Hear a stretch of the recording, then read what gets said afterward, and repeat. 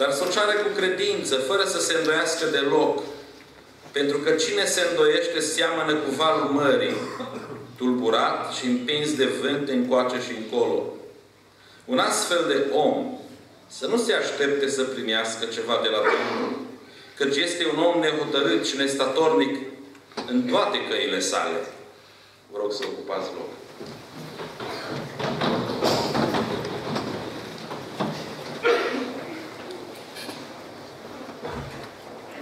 Duminica trecută am sărit un pasaj, ne-am uitat la versetul de la 9 la 11, pentru că am avut sărbătoarea de mulțumire și ne întoarcem înapoi la acest pasaj de la versetul 5 la 8. Cum să crești mare? Dacă, să spunem, statura spirituală desăvârșită ar fi măsurată sau echivalentul a 2 metri. Perfecțiunea, desăvârșirea. Tu ce înălțime crezi că ai? Cum să crești mare? Din punct de vedere fizic, de mici copilași, dacă ar fi să ne întrebăm pe surori, să întrebăm partea feminină, câte dintre voi ați încercat sandalele mamei? Probabil cel mai bine ar fi să întrebăm cine n-a încercat sandalele mamei la un moment dat și să-și dorească să fie ca și mama, să ajungă mare. Băieții la fel. Tot felul de lucruri care să zici, aș vrea să ajung mare. După ce ajungi mare, mai ales după ce ești de vreo 50, 60, 70, 80 de ani, ai vrea să fii mic ca și femeia aceea, nu? Cu bătrâna aceea care s-a dus la creșă când o căuta moartea, nu? Și când a întrebat-o ce face, a zis, pap, ate. Nu? Și moartea a zis, mă papă că ne ducem la plimbare. Deci moartea tot te află. La o anumită vârstă ai vrea să fii mic, dar nu se mai poate. Ei, dacă din punct de vedere fizic există dorința să fii mari, Iacov ne spune, dar și din punct de vedere spiritual, ar trebui să doriți să fiți mari. Ce am înțeles, de fapt, toată epistola vorbește despre practicarea credinței autentice, adevărate. Și în mod interesant am văzut că el începe cu încercările. Cu încercările din viața noastră și dacă trăim până urmează să predic din următorul text, vom vedea ca, care este diferența pe care Biblia o face între încercări și ispită. Și ispite. Cuvântul biblic este același. Dar el spune un lucru interesant și acum am auzit astăzi de aici de o mulțime de boli, de cancer, de așa mai departe. Nu este adevărat că nu știm motivul pentru care vin acestea în viața noastră. Iacov ne spune, băgați de seamă că inclusiv încercările Știți ce urmăresc ele, încercările? Ce urmărește Domnul prin încercări? Să vă crească mari. Vrea să creșteți mari. Adică să lucreze de săvârșire. Versetul 4 spune, răbdarea trebuie să-și facă de săvârșit lucrarea ca să fiți desăvârșiți, întregi și să nu duceți lipsă de nimic. Deci cele două cuvinte care definesc uh, statutul de credincios desăvârșit sunt teleios și holocleros în limba greacă. El spune să fiți desăvârșiți și să fiți întregi. Niciunul dintre acestea nu sugerează ideea de perfecțiune în sensul de a fi fără păcat. Desăvârșit, teleios înseamnă ajuns la maturitate, iar holocleros, tradus cu întreg, înseamnă complet în fiecare aspect sau ireproșabil. Așadar, Dumnezeu vrea, dorința lui Dumnezeu, este ca fiecare credincios să ajungă matur, pe deplin dezvoltat, întreg, complet în fiecare aspect al vieții de credință, ireproșabil din toate punctele de vedere. Ori dacă până și chiar încercările care vin în viața noastră au rolul să ne desăvârșească, oare cum ne putem implica și mai mult în procesul acesta de maturizare ca și copii al lui Dumnezeu?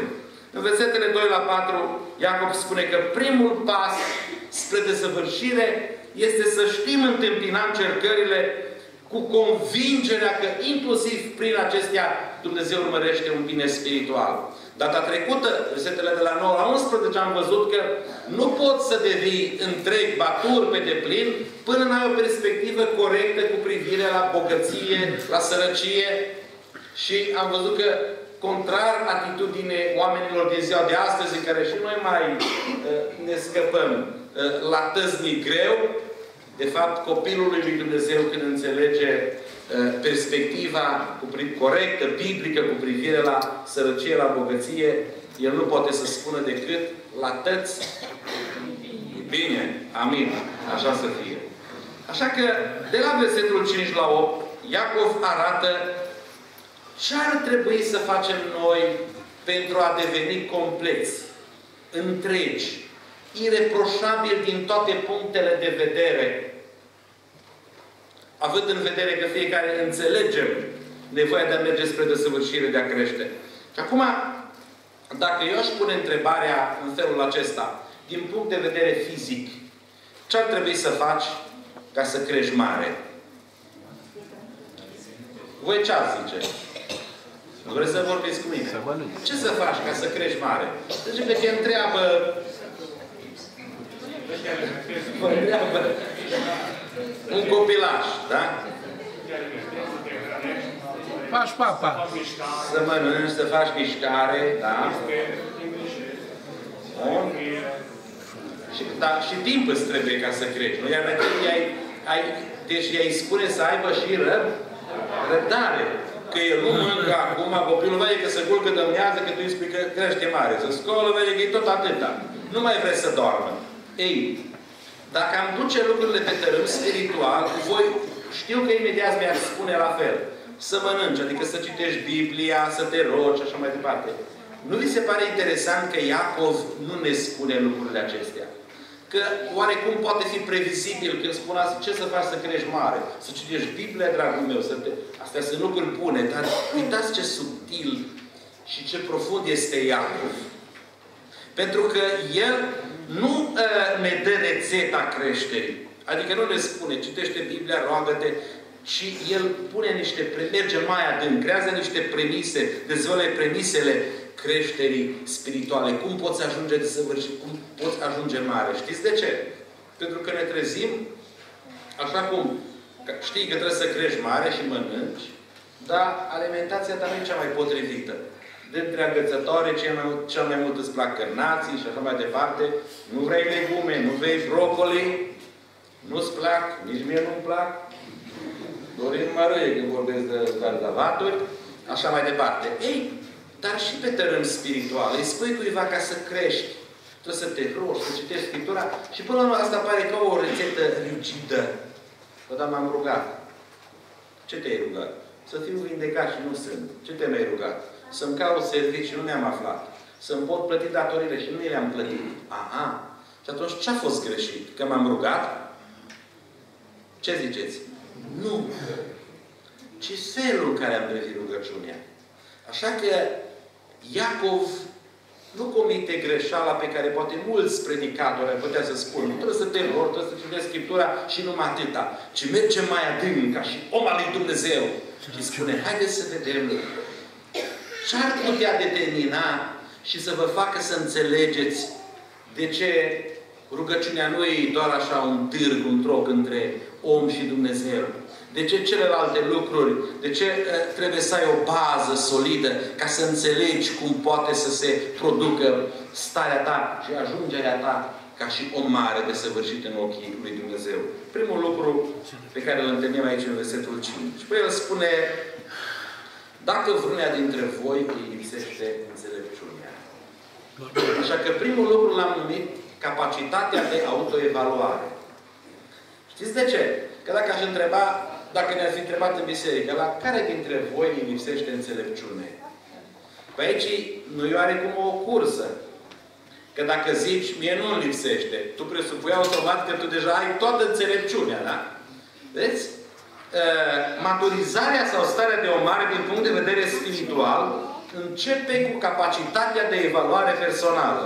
Niciodată nu vei putea crește mai mult dacă nu îți cunoști măsura. Niciodată nu vei ști dacă îți lipsește ceva până nu verificăm acest lucru sau până în clipa în care trebuie să mă folosesc de lucrul respectiv. De exemplu, cum pot eu afla dacă am nevoie de răbdare? Sau tu? Că ne căutăm prin buzunare. Cum poți afla sau zice, oh, eu am răbdare. Cum știi că ai nevoie de răbdare? Păi, până în uh, clipa în care răbdarea mi este pusă la încercare, nu? Atunci eu știu, voi ști singur dacă am nevoie de răbdare sau nu. Dacă îmi lipsește răbdarea sau nu. Uh, cum voi putea deveni desăvârșit dacă nu știu ce lipsește ca să ajung așa?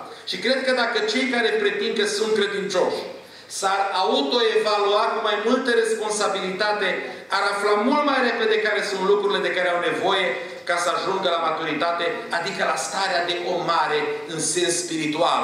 Dar ne lipsesc anumite lucruri din profilul creștin întreg, complet, de săvârșit ireproșabil. Nu pentru că n-am putea dobândi acele lucruri, Că altfel Dumnezeu nu le-ar cere. Ci pur și simplu pentru că neglijăm să ne evaluăm. Adică, dacă ne-am întrebat mai des, Doamne, de ce am eu nevoie ca să fiu un creștin complet?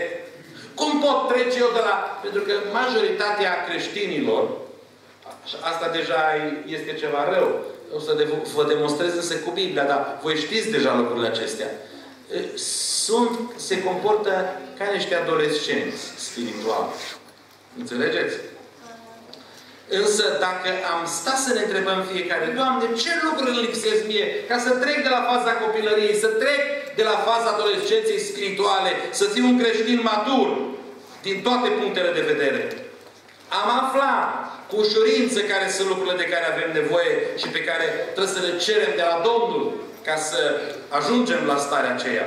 Poate privim prea mult spre alții. Și când privești prea mult spre alții, știți ce se întâmplă?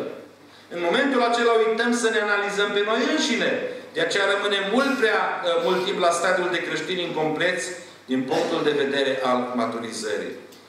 De aceea spuneam că prin creștinism, la modul general vorbesc, bântuie destul de frecvent vântul plafonării al mediocrității, al unei stări de satisfacție economită stare spirituală, care nu este pe placul Domnului. Uh, încep viața de credință uh, repede, repede, cu poftă ca să înveți unele lucruri și mulți dintre creștini rămân la stadiul acela. Zic, da, ne mulțumim. Când peste tot Biblia ne spune să mergem înspre cele desăvârșite, să urmărim statura plinătății lui Hristos. Amin. Exemplu, biserica din Laodiceea. În Apocalipsa 3 cu 17. Uh, era o biserică lipsită de capacitatea de autoevaluare. Dacă o întrebai, măi, cum e la voi? Cum e? Și ce ziceau cei din uh, Laodicea despre ei? Mă, cum, cum sunt creștini la noi biserică? Mai buni nu sunt nicăieri. Nu-și poate afla Domnul. Înțelegeți? Uite ce ziceau. Sunt bogat, m-am îmbogățit, nu duc lipsă de nimic. Și când îl întrebai pe Domnul, Doamne, cum e biserica din Laodiceea? Și ce le spune? Ticăloși, nenorociți, săraci, orbi și goi. Așa că Pavel îi îndeamnă pe credincioși să se autoevalueze să își verifice maturitatea și credința. Cum stați? Când vii în fața lui Dumnezeu, poate când Dumnezeu îți vorbește printr-un mesaj, prin Duhul Său cel Sfânt, așează-te pe genunchi în casa ta și întreabă, Doamne, care e statura mea spirituală? Doamne, vreau să mă evaluez corect, să știu cum stau. Care este stadiul la care am ajuns din punctul de vedere al stării și al maturității mele spirituale? În 2 Corinteni 13 le spune, pe voi înși vă Încercați-vă dacă sunteți în credință. Testați-vă, evaluați-vă. Pe voi înși vă încercați-vă. Nu recunoașteți voi că Iisus Hristos este în voi? Afară numai dacă sunteți lepădați. În același fel, autorul cărții evrei îi critică pe destinatarii scrisorii sale pentru imaturitatea. Nu erau de vină că erau copii. Ce? Îi dă vină un copil că e copil? Îi dă vină? Dar când îi dă vină un copil că este copil? Când nu mai este copil, când a trebuit să fie mare. Nu copilăria era de vină, ci faptul că acela era un stadiu pe care trebuiau să fie depășit deja. Așa că autorul cărții evrei critică uh, imaturitatea destinatarilor și incapacitatea lor de evaluare personală, îndemnându-i în același timp să urmărească lucrurile care duc la desăvârșire. Evrei 5, de la 12 la 14. Zice așa, în adevăr, voi care de mult trebuia să fiți învățători, aveți iarăși trebuință de cineva să vă învețe cele din de adevăruri ale cuvintelor lui Dumnezeu. Și ați ajuns să aveți nevoie de lapte, nu de hrană tare. Și oricine nu se hrănește decât cu lapte, nu este obișnuit cu cuvântul despre neplănire, că este un prunc. Dar hrana tare este pentru oamenii mari, pentru aceia căror judecată s-a deprins. Cum s-a deprins?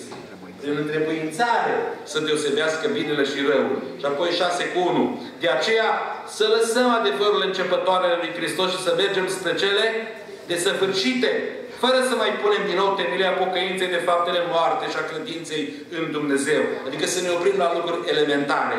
Starea de autosatisfacție. Mulțumirea cu o anumită statură spirituală medie. Trăirea vieții de credință fără evaluare. E ca și cum ai merge la școală, aparent ai zice că la școală în care nu se dau note. Cum ar fi chiar? Să mergi la școală în care nu se dau note. Ce credeți că s-ar întâmpla? Păi, cu siguranță că nivelul acela ar fi cum s-ar întâmpla, ce nu s-ar întâmpla acolo, da? da? Dar cu siguranță că nivelul acelor cine ar învăța la școala aceea, ar fi deosebit de redus. Jos, jos, jos.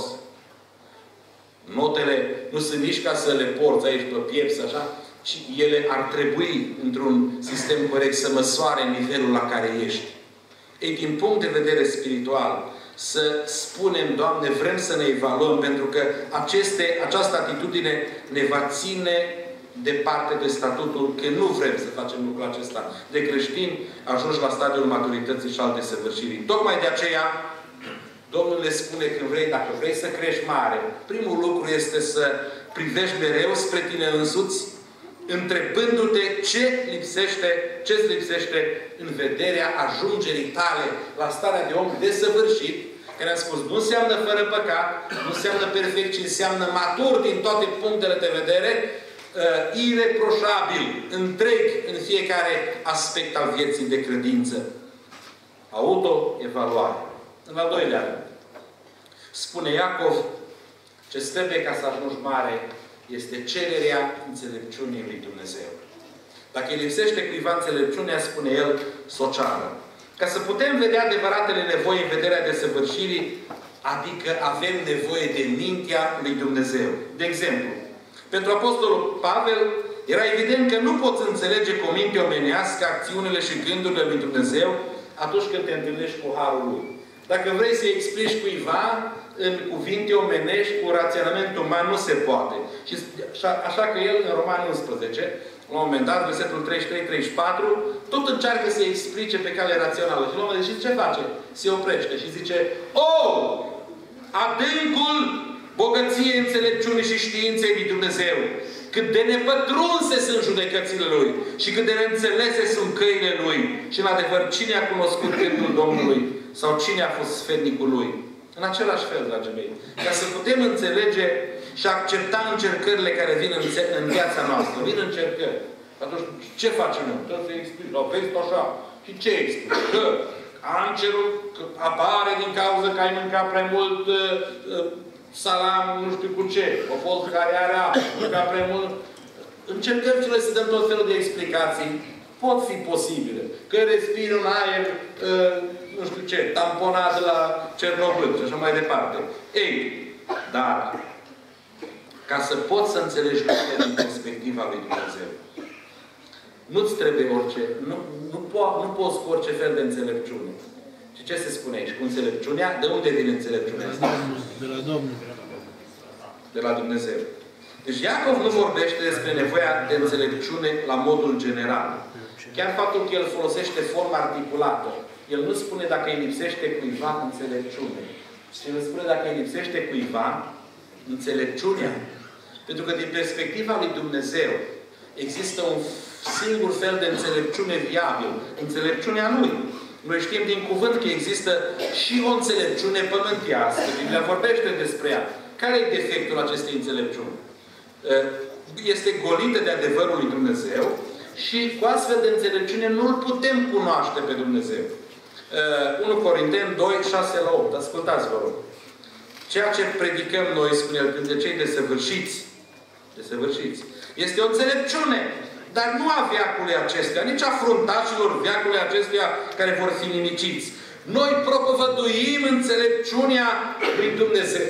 Dumnezeu, cea tainică și ținut ascunsă, pe care o rânduise Dumnezeu spre slava noastră, mai înainte de veci, și pe care n-au cunoscut-o fruntașii veacului acestea, căci dacă ar fi cunoscut-o, n-ar fi răstignit pe Domnul Slavei.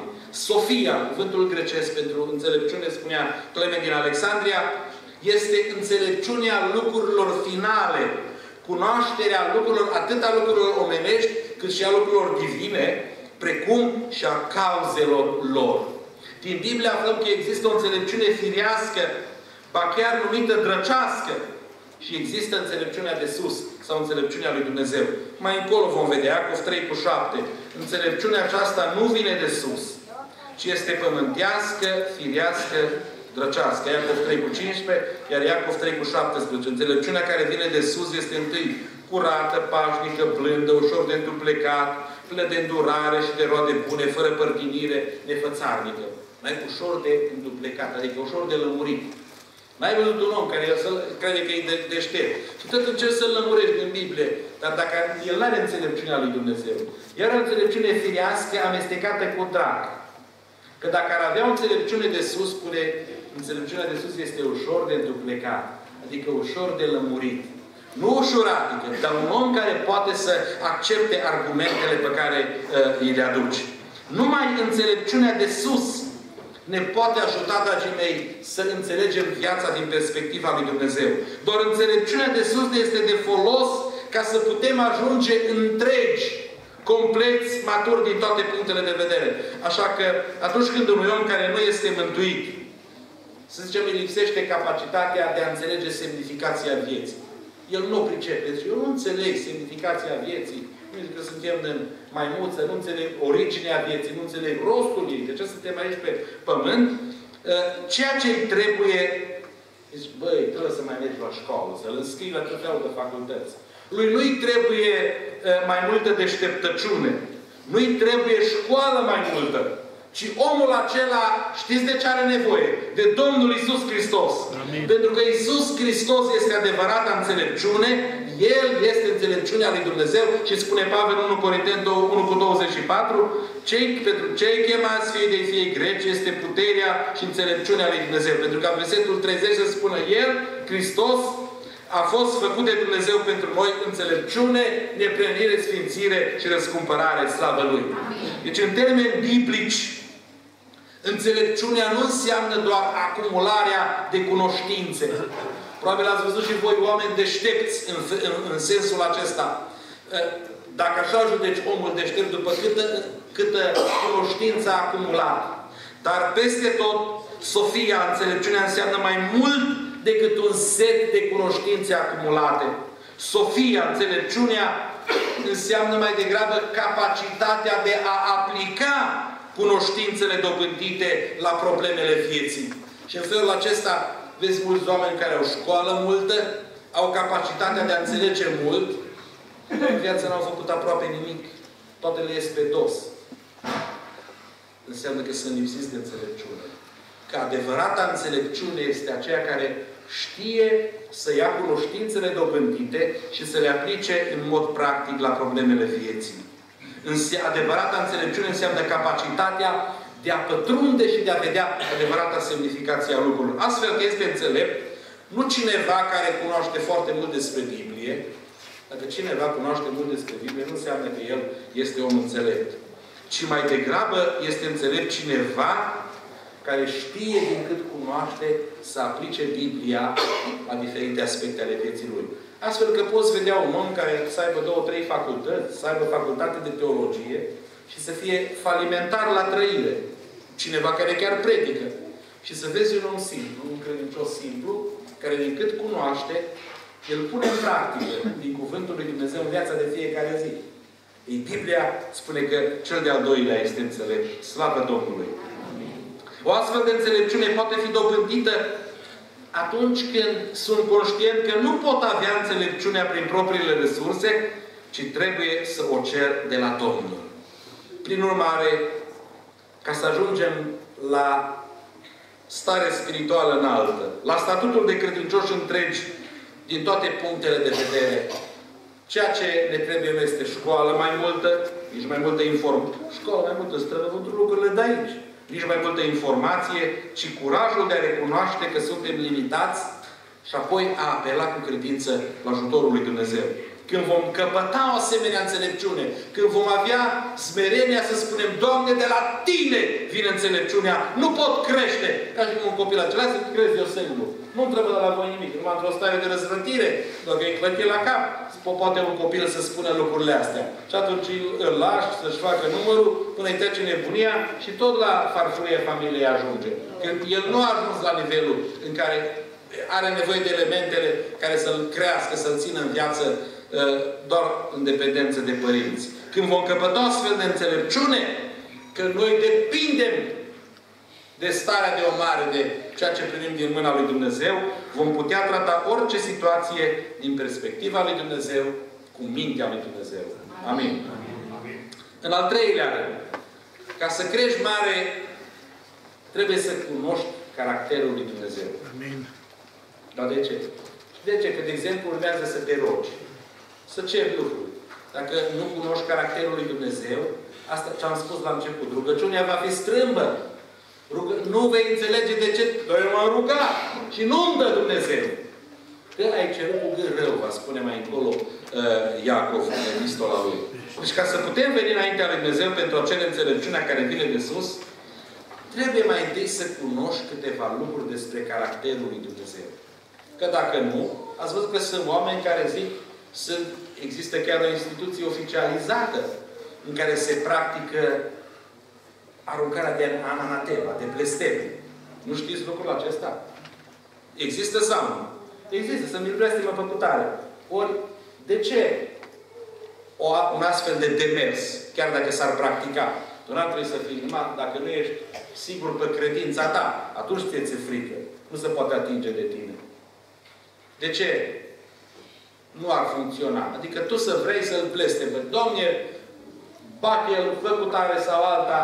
Ați auzit de frecvent lucruri de felul ăsta. De ce nu funcționează în astfel de, astfel de rugăciune? După voia lui Dumnezeu. Pentru că nu vorbești cu cine trebuie. Apar n-ai de caracterul lui Dumnezeu. Că Dumnezeu nu ascultă astfel de rugăciune pentru că caracterul lui nu e așa. Nu blastămă binecuvântează. Ah, păi de aia multe din rugăciunile noastre nu că nu sunt auzite, dar Dumnezeu nu le ștambilează. Amin. Nu le aprobă. Pentru că vin din necunoașterea caracterului Lui. În mod greșit avem de multe ori impresia, uh, în mod greșit zic, avem impresia că foarte mulți oameni nu se roagă. Eu cred că e greșit această impresie. De fapt, să știți că nu numai oamenii din creștinism sunt cei care se roagă. În toate religiile din această lume și din afara creștinismului, peste tot sunt oameni care se roagă. Evident că unii se roagă la Dumnezeu care nu există, șamanii se roagă la tot felul de spirite și așa mai departe. Mai mulți oameni se roagă decât chiar ne închipuim noi. Din păcate, cei mai mulți. Problema nu este că se roagă, ci că se roagă fără să cunoască caracterul lui Dumnezeu. Cine cunoaște caracterul lui Dumnezeu, știe că nu poate veni înaintea lui Dumnezeu să-i ceară orice, ci orice potrivit cu natura sa sfântă și desăvârșită. Pentru că, aparent, așa îi crede, uitând de la versetul 5, soceară de la Dumnezeu care dă tuturor cu mână largă și fără mustrare și ai fi dată. Dar ce dă Dumnezeu tuturor cu mână largă? avioane, elicoptere, bărci, iahturi și așa mai departe. Ce spune Iacov, că trebuie să știm despre caracterul lui Dumnezeu sunt următoarele lucruri. Versetul 5 l-am citit. Și anume, zice, primul lucru pe care îl vezi despre caracterul lui Dumnezeu, când vrei să vii înaintea Lui. Nu se poate să crești fără să-L cunoști. Caracterul lui Dumnezeu este altruist. Din acest punct de vedere, Dumnezeu este un Dumnezeu care dă. Zice, să ceară pentru că Dumnezeu este un Dumnezeu care dă, care oferă. Niciunul dintre noi nu poate să spună că în relația lui cu Dumnezeu mai întâi a trebuit să o dea El ceva uh, înainte de a primi. Noi toți mai întâi am primit de la Dumnezeu. Este așa sau Amin. Amin. Slăvit să fie Domnul. Aleluia. Deci caracterul lui Dumnezeu este altruist. Apoi aflăm despre caracterul lui Dumnezeu că este generos. Din spusa lui Iacov. Dumnezeu nu se zgârcește atunci când dăruiește. Cum dă Dumnezeu? Mână largă. Zice că El dă cu mână largă. El nu strânge mâna când te binecuvintează. El ce face? El toarnă. Slăvit să fie Gloria Domnul. Lui. Deci, așa că dacă ești binecuvântat, numai așa cu țărita, deci așa te-ai binecuvântat tu singur. Dar întotdeauna Dumnezeu, El este un Dumnezeu care dă cu mână largă. Slavă Lui. El nu se scârcește. Slăvit să fie Domnul pentru lucrul acela. E ca și cu copilașul acela care se spune că se zgâia descult și așa mai ca și vai de el și se zgâia într-o vitrină în care, într-o cofetărie. Și patronul i s-a făcut milă de el și o zis că îi trebuie bomboane și uh, atunci o zis, că, uite, poți să-ți iei de aici, ieți o mână de bomboane. I-a arătat ce avea el acolo, tot felul de bomboane, care mai de care. Și copilul se tăcodea, nu, nu, nu lua. După așa se uita la mâna lui, și se uita la, era unul mare. Nene, nu vă supărați. Nu vreți să-mi dați cu mâna dumneavoastră. Că mâna dumneavoastră e mai mare. Aleluia. Dragii mei, așa facem noi când vrem să ne binecuvântăm noi. Când alergăm să strângem, să adunăm fără Domnul. Dar când îi spunem, Doamne, eu înțeleg caracterul Tău Aleluia. și eu vreau să mă las binecuvântat de Tine. Că oricât am încercat noi să adunăm, să strângem, mâna Domnului e mai mare. Aleluia. Amin. Amin. Caracterul lui Dumnezeu este generos. Dar nu numai atâta. Caracterul lui Dumnezeu este nepărtinitor. Mi se spune aici că El dă cui? Cui dă? Tuturor. Tuturor. Dă tuturor. El nu face diferențe. Și la țări. Poate sigur că cei mai mulți se înțeleg greșit Domnului. această afirmație. Că Dumnezeu dă tuturor uh, orice. Vreau să vă întreb, oare atunci când dă, Dumnezeu dă oricui orice? Cu siguranță că nu. Știți care este greșeala pe care o putem face? Să scoatem cuvintele lui Iacov din context. Ceea ce spune Iacov este că Dumnezeu este gata să dea orice, oricui, orice ar duce la desăvârșirea și la întregirea caracterului acelei persoane. Păi de asta vorbim noi. Cum poți ajunge la starea de om desăvârșit, matur, complet din toate punctele de vedere. Și atunci Dumnezeu îți dă orice și oricui. Sau putem spune oricui și orice îi trebuie ca să ajungă desăvârșit. Aha. Nu- Nu vedeți că dacă vă, voi vă frăm, dacă nu mea umblați în viața așa nimic, atunci nu, nu vă puteți înțelege nimic. Dar dacă mintea este ascuțită, că eu mă întreb, bănuiesc că în fiecare zi aveți astfel de procese de conștiință, vă întrebați, că nu e așa ușor, adică tu zici, ești, sunt pocăit. De ce îngăduie Dumnezeu răul în viața mea? Nu poate trimite acum la avea cu reacție. Păi chiar ce aș face cu el? Nu era așa. Parcă. Nu era. Cum ar? Cine ar fi pilot? Știi pilota careva?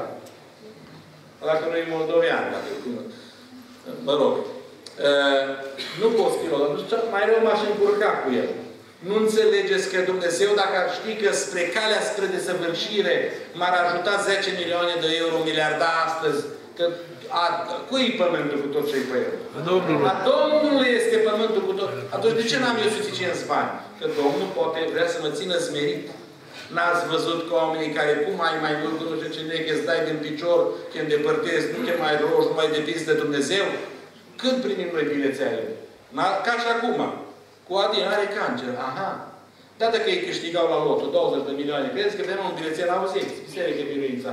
Am câștigat la lotul 20 de milioane de euro. Vă rog să vă rugați, că nu știm ce să facem cu ei. Și așa 2 milioane vrem să... Până acum nu ni s-a întâmplat la biserică lucrul acesta. Adică ideea este că atunci când oamenilor merge bine, în viața noastră personală, noi nu suntem atât de dependenți de Domnul. Aha. Mă vedeți? Și atunci, ca și dar în viața mea, de ce poate îngădui Dumnezeu boală? Accident, sărăcie, suferință, moarte uneori. Să depinzi de Domnul. Știi de ce? Acum știm în momentul acesta. Ziceți de ce? Pentru că acelea sunt lucruri care mă pot duce la maturizare. Amin. Și și tu, privind din perspectiva veșniciei, când deja vei fi fost în rai de 100 de catralione de ani. Milioane, milioane. Vei privi în urmă și vei zice ce fain că am murit de cancer cu 20 de ani mai repede decât trebuia. Că uită, în felul acesta am ajuns la maturitate și acum tu ce mai cei 20 de ani în comparație cu un cantralion de ani. Când ai fi acolo, deja de mult, planetele de mult s-ar fi stins, toate care sunt acum. Dar tu vei continua să existi cu copiii lui Dumnezeu și cu Domnul în glorie. Slăvit să fie numele Lui. Adică nu există credincios care să-și dorească maturitate spirituală, iar Dumnezeu să-l refuze. Dumnezeu este gata să ne dăruiască orice lucru care contribuie la desăvârșirea noastră. Așa că aici găsim explicația cu privire la prezența necazurilor, a suferinței din viața noastră. Deși noi nu cerem asemenea lucruri, Dumnezeu știe mai bine că ele contribuie la desăvârșirea profilului nostru de oameni compleți, maturi, din toate punctele de vedere. Așa că, în baza caracterului său, Dumnezeu este gata să dea orice, oricui, lucruri care sunt compatibile cu natura sa, precum și în acord cu voia Lui pentru fiecare dintre noi. Astfel că atunci când cerem, este greșit să credem că Dumnezeu ne-ar da orice lucru bazat numai pe faptul că i-am cerut. Ah, dar nu scrie în Biblie, era zis Domnul Iisus că orice veți cere în numele meu veți primi. A zis sau, da sau nu? Amin. Înseamnă asta orice lucru? Orice lucru în numele meu. Păi numele meu, numele, vorbea despre caracterul persoanei. Nu poți agăța o cerere haină de voința lui Dumnezeu, străină de caracterul lui Hristos și să ai pretenția ca Dumnezeu să-ți o aprobe. O cunoaște, de aceea, dragii mei, vedeți? Ce face ea? Nu ce simplu roagă-te, ci le spune, eu vreau să te învăț să cunoști caracterul lui Dumnezeu, că atunci vei ști să, ce să ceri. Când pleci pe ușa aceea, tu vei ști să schimbi filozofia de rugăciune. Că Dumnezeu nu-ți ascultă rugăciunile pentru că nu le poate împlini, ci nu le ascultă pe acele rugăciuni care n-ar contribui la profilul tău spiritual, la înălțarea profilului tău spiritual. O cunoaștere a caracterului său ne va ajuta să înțelegem care sunt lucrurile pe care le putem cere de la El, în așa fel încât să le putem și primi și să și creștem după voia Lui. Amin. Amin. Și încă ceva tot aici la punctul 3 despre caracterul lui Dumnezeu. Caracterul lui Dumnezeu nu reproșează. Ce spune versetul acela, versetul 5? Care dă tuturor, numai că dă cu mână largă, dar ce face? Fără mustrare.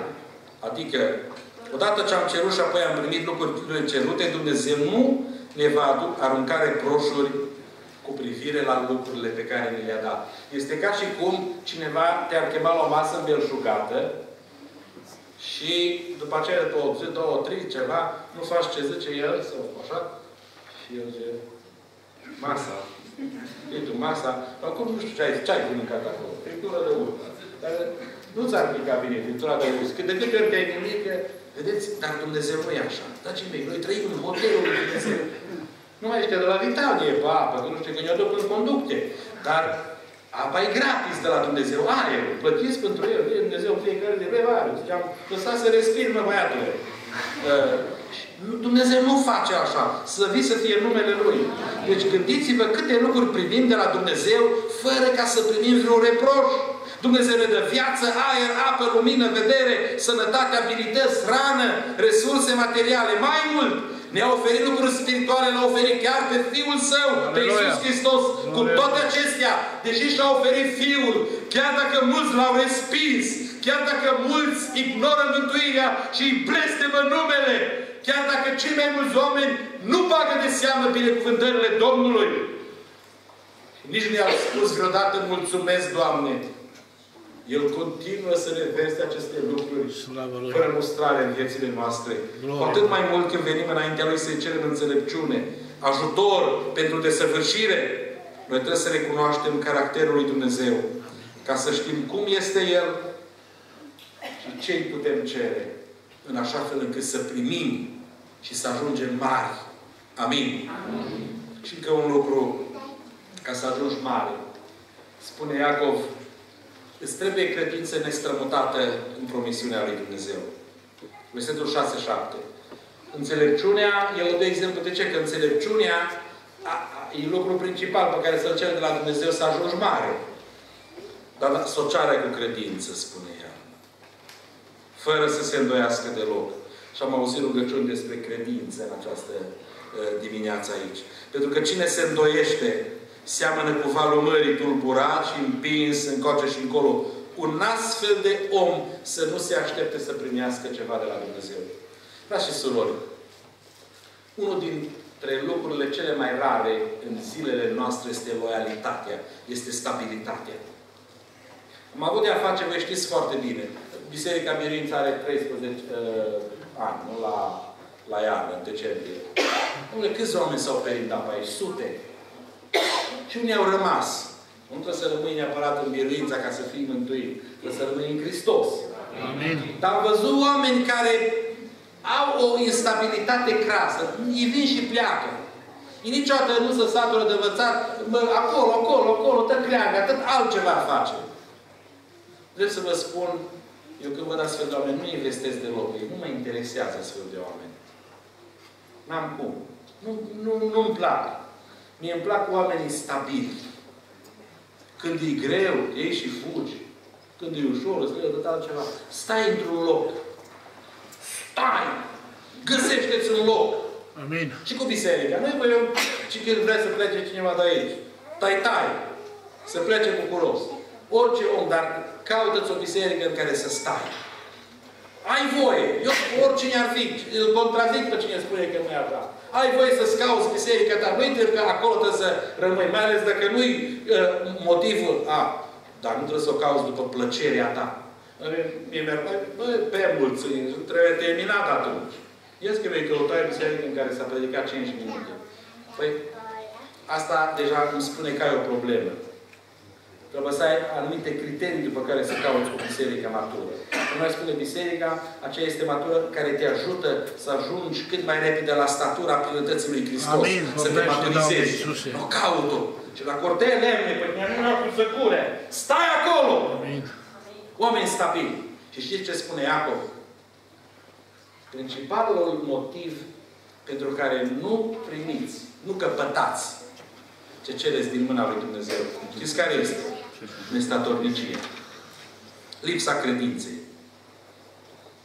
Odată ce ajungem să cunoaștem caracterul lui Dumnezeu, trebuie să-L credem pe cuvânt. Credința înseamnă să acceptăm fără îndoială că ceea ce am cerut vom primi, chiar dacă lucrul acela pare imposibil din perspectivă umană. Lui Dumnezeu îi plac sau nu-i plac oamenii îndoielnici. Evrei 11 cu 6. Fără credință este cu neputință să fim plăcuți Lui. Căci cine se apropie de Dumnezeu trebuie să creadă că El este și că răsplătește pe cei ce îl caută. Amin. Oare mă poate Dumnezeu mântui? Oare poate Dumnezeu să-mi poarte de grijă? Poate sau nu? Aleluia. Dumnezeu Slavă ce când te apropii de El și îi rostești numele, n-ai voie să te îndoiești de lucrul acela. Dumnezeu poate să facă Amin. lucrul acesta. Amin. Glorie Lui. Prezența îndoielii dovedește că nu avem încredere în promisiunile Domnului și că nici nu-L cunoaștem pe Domnul așa cum este. Credința este dovedită de hotărârea și statornicia care este în noi. Și ca să-i descrie pe oamenii nestatorni și instabili, Iacov folosește două cuvinte. Un astfel de om, celălalt, da? Uh, cum zice? Este nehotărât capricios, cu minte împărțită, duplicitar, și pentru asta avem versetul Domnului Iisus din Matei 6 cu 24, nimeni nu poate sluji la doi stăpâni, că sau va urâ pe unul și va iubi pe celălalt, sau va iubi pe celălalt și îl va urâ. Nu puteți sluji lui Dumnezeu și lui Mamona. Care era problema cu acei oameni? Că erau cu minte împărțită. Credea că se poate cu amândoi. Sau acatastos este cel de-al doilea cuvânt și descrie uh, un om instabil. Instabilitate. Un om fără fundație. Astfel de oameni neotărâți, duplicitari și instabili nu se pot aștepta să primească nimic de la Dumnezeu. Când vine la adresă, dacă tu ești instabil, dacă te-ai mutat, cum vine la adresa asta? Cum să... Nu mai ești acolo. Pe când îți aduce Domnul ce vrei să-ți aducă. Așa că în Iacov 4 cu 8, mai încolo va spune Iacov, apropiați-vă de Dumnezeu și El se va apropia de voi. Amin. Curățiți-vă mâinile păcătoșilor, curățați-vă inima, oameni cu inima împărțită. Unde e inima ta? Este 100% cu Dumnezeu sau 50% cu lumea și crezi că 50% acum e cu Domnul, după aceea e și cu lumea. Cum să ne putem aștepta să primim ceva din partea lui Dumnezeu dacă noi suntem oameni cu mintea împărțită, cu inima împărțită între cer și pământ, între Dumnezeu și lume? Cum să căpătăm ceva din partea lui Dumnezeu dacă nu suntem în stare să luăm decizii ferme și radicale? Tot stai. Mă pocăiesc, mă pocăiesc, mă pocăiesc, mă pocăiesc, mă pocăiesc. Ce, ce joacă e asta? Cum să vină Dumnezeu să-ți dea mântuire dacă nu ești hotărât?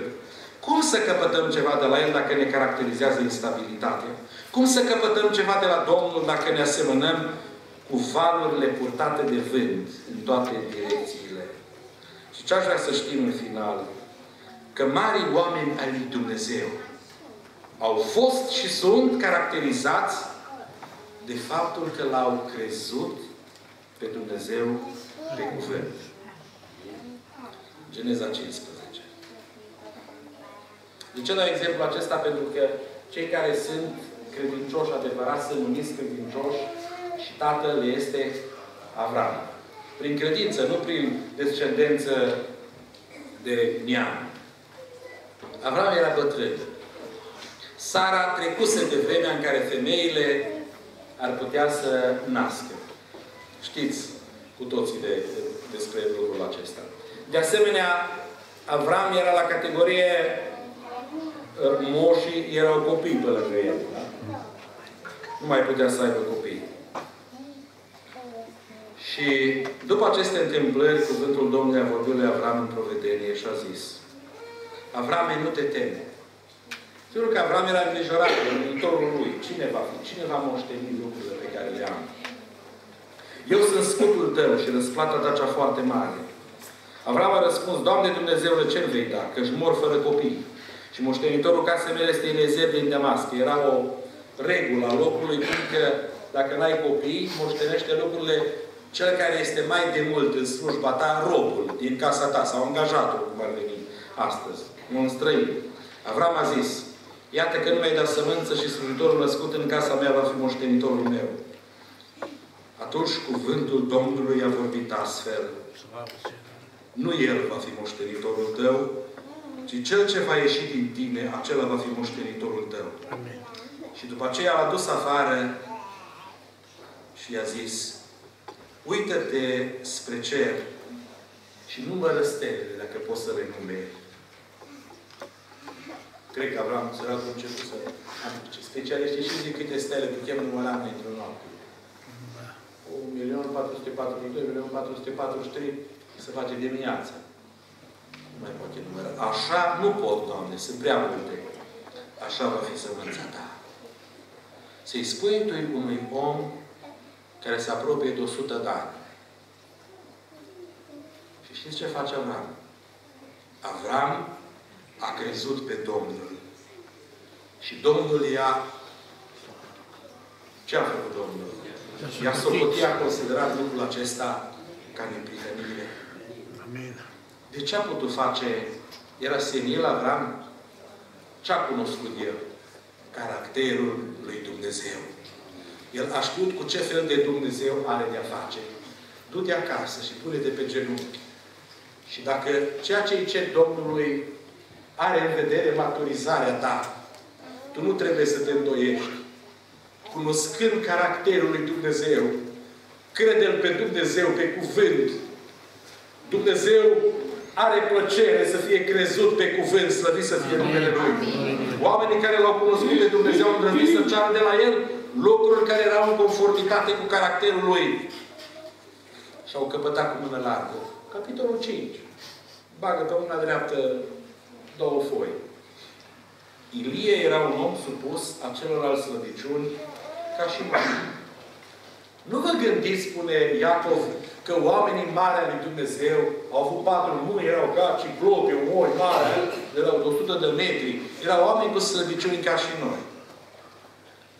Și s-a rugat cu stăruință să nu plouă. Când a văzut Elie nelegiuirea, a zis, Doamne, Tu trebuie să oprești cumva păcatul în țara asta. Și dacă, Doamne, nu există altă metodă să oprești păcatul decât să-i bagi în foame și în criză. Doamne, închide cerul! Și Dumnezeu s-a uitat spre pământ și a ascultat rugăciunea lui Ilie, un om simplu. Și din cauza rugăciunii lui Ilie, pentru că era în acord cu onoarea lui Dumnezeu, Dumnezeu trage perdeaua! Și trei ani și, șa și șase luni nu plouă în țară. Rugăciunea lui Ilie. După aceea s-a rugat din nou. Și pământul a dat ploaie și pământul și-a dat rodul. Amin. Astfel de oameni n-au cerut de la Domnul lucruri care să satisfac orgoliul lor, nu, nu la leg, bată de aceea și nu știu ce, și să fie așa, nu au cerut legat de firea sau interesele lor, ci au cerut lucruri pentru onoarea lui Dumnezeu. Ascultați rugăciunile din ziua de astăzi. Și vedeți câte rugăciuni sunt pentru onoarea lui Dumnezeu.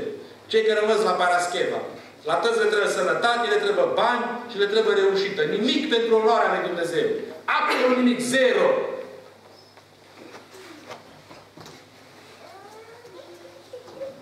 Dar oamenii lui Dumnezeu au cerut pentru onoarea lui Dumnezeu sau pentru cercetarea poporului lui.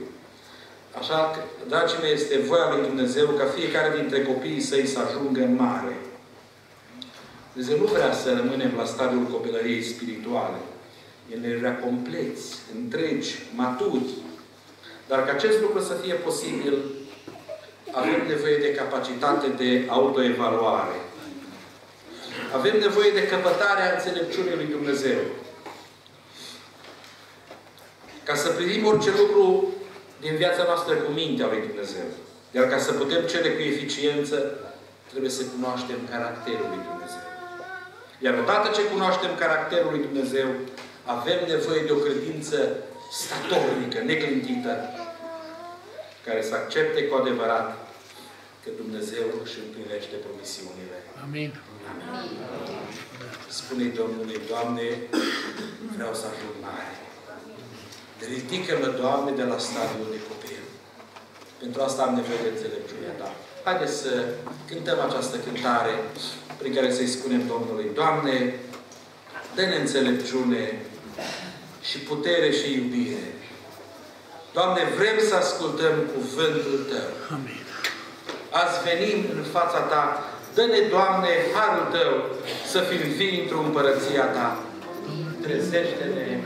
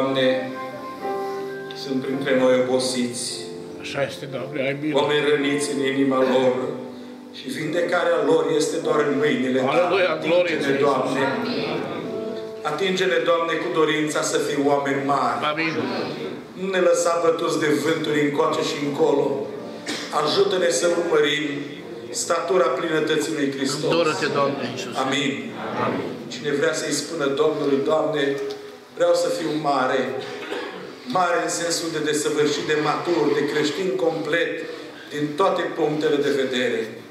Maturizează-mă Tu, Doamne Iisuse.